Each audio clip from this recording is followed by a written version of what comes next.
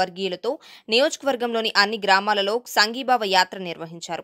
ఇరు వర్గాలు పోటాపోటీగా గ్రామాల్లో యాత్ర చేపట్టడం బల ప్రదర్శన వేదికగా మారింది.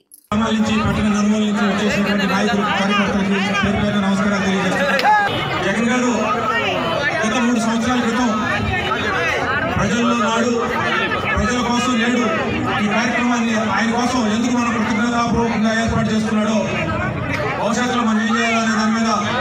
రెండు మాటలు చెప్పి నేను